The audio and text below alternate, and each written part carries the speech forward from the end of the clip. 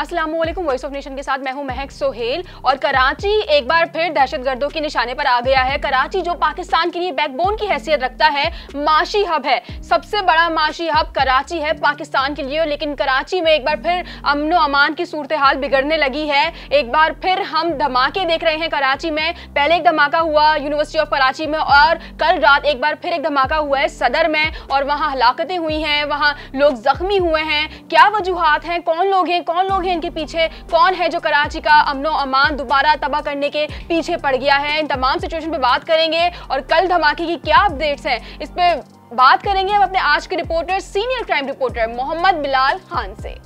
जी बिलाल अस्सलाम वालेकुम। वालेकुम जी मुझे बताइएगा क्या अपडेट्स हैं आपके पास इस वक्त?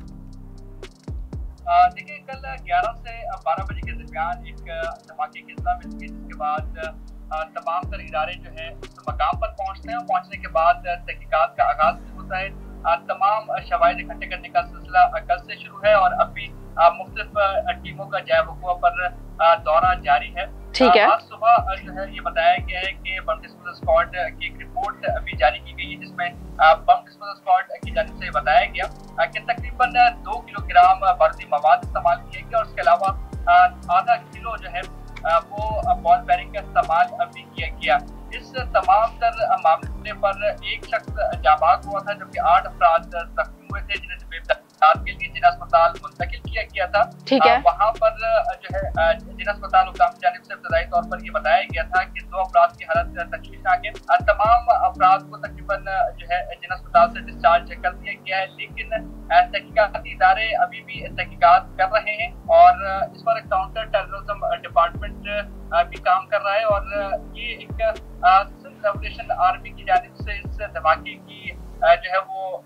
कबूल किया गया कि हमने किया और माजी में भी इन्होंने मुख्तलिफ़ मकाम पर धमाके किए हैं जिसमें क्रैकर धमाके जो है वो सर फहरिस्त है। ठीक है। लेकिन ये पहला धमाका है जिसमें बॉल बैरिंग और बारूदी मवाद इस्तेमाल किए गए ठीक है। कबल एक दफ़ा और जो है इन्होंने धमाका किया था जो कि पार्किंग प्लाजा के करीब था। ये जो है बारूदी मवाद लेकर जा रहे थे उस दौरान ये धमाका हो गया था।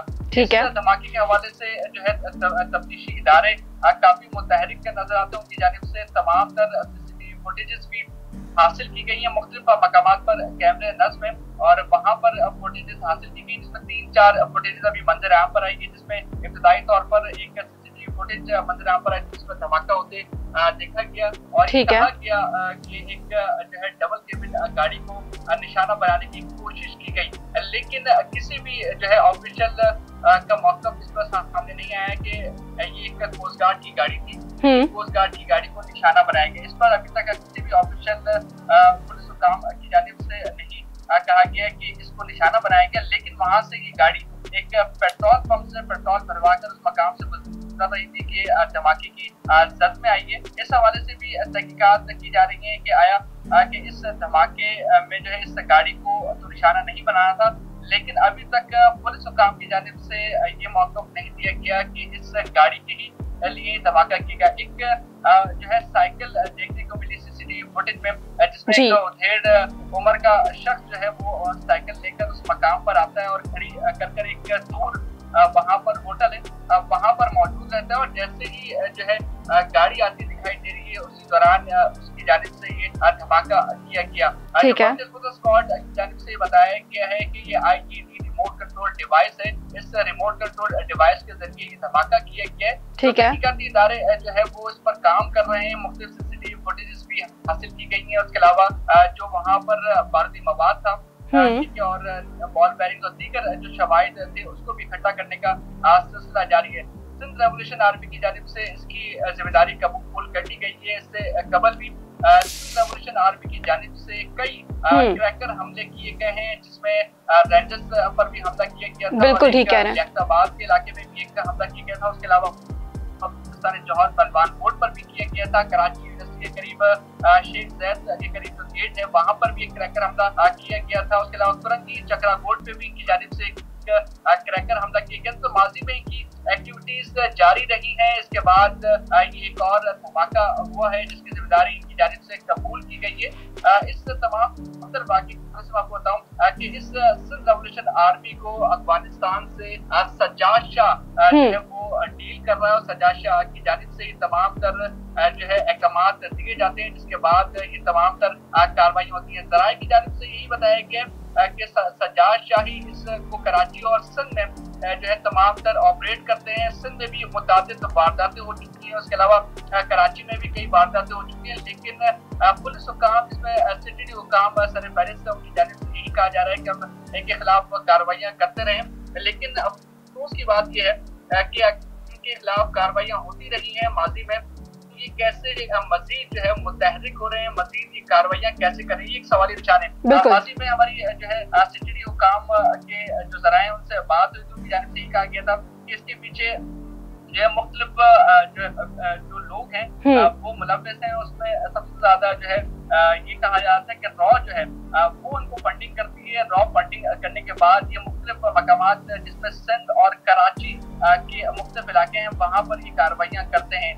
जो इस तमाम तर मामले पर की जानब से एक विंग है जो कि एस आर ए पे काम करता है, उनसे भी हमारी बात है, उनकी जानब से यही कहा गया कि सिंध रेवोल्यूशन आर्मी के मुताबिक अफराद को हिरासत में ली गया, जो कि सज्जत के इलाके में भी कार्रवाई की गई थी, उसके अलावा पहलवान बोर्ड के इलाके में भी कार्रवाई की गई थी। लेकिन कार्रवाई करने के बावजूद मुसलमान की जानब से कार्रवाई जारी है और ये एक फुटेज जो मंदिर यहाँ पर आई थी ये देखने को मिला कि एक उधेड़ शख्स जो है वो कार्रवाइयाँ में मुलविस है। हम्म। कार्रवाई भी एक उधेड़ शख्स की जानब से की गई। वो साइकिल वहाँ पर जो है खड़ी की। खड़ी करने के बाद दूर गया। दूर जाने के बाद रिमोट कंट्रोल डिवाइस के ज़रिए धमाका किया। तो उसमें मुख्तलिफ़ पहलू हैं। मुख्तलिफ़ पहलुओं पर पुलिस की जानब से तफ्तीश का आगाज़ तो कर दिया गया। अब सिटी काम की जानब से तमाम तरफ़ बाकी का मुकदमा दर्ज किया जाएगा। मुकदमा दर्ज करने के बाद ही तहकीकत आगे बढ़ाई जाएगी लेकिन इस तमाम तर मामले पर ये देखने को मिला कि सिंध रेवोल्यूशन आर्मी जो है, इस तमाम तर मामले को जो है, वो देख रही है और इसके अलावा इसकी कबूल भी किया है इसको लेकिन जो हमारे जराए हैं उनकी जानब से बताया गया। सिंध रेवोल्यूशन आर्मी और बलोच रेवोल्यूशन आर्मी जो है माजी में मिलकर कार्रवाइयाँ करती रही हैं और अभी जो है ऐसा ही लगता है। इन्होंने कोई तंजीम भी बनाई है ब्रास के नाम से? जी बिलाल मुझे थोड़ा आगाह कीजिएगा क्या इन्होंने कोई तंजीम बनाई है ब्रास के नाम से और ये सब मिलकर पाकिस्तान के खिलाफ इदारों के खिलाफ काम कर रहे हैं? देखेंगे पाकिस्तान के खिलाफ जो है मुख्तलिफ़ कार्रवाइयाँ कर चुके हैं और अभी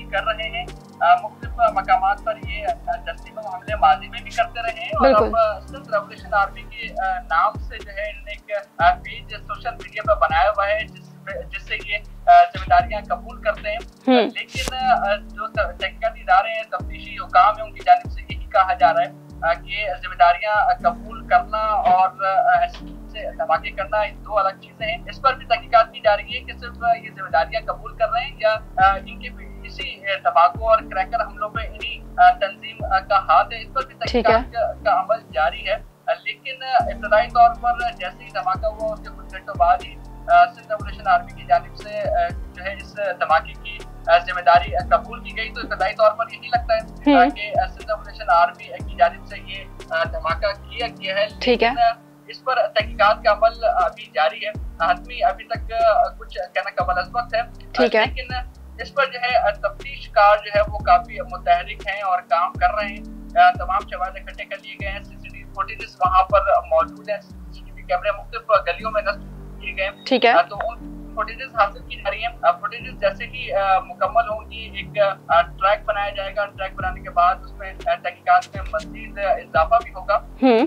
तो अब मुकदमा दर्ज होने के बाद ही मजीद तहकीकात आगे बढ़ेगी। तमाम शवाद इकट्ठे कर लिए गए इब्तदाई तौर पर यही ठीक है बिलाल।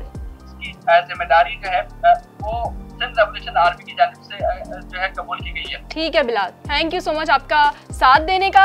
हमारे साथ मौजूद है senior crime reporter Mohammad Bilal Khan.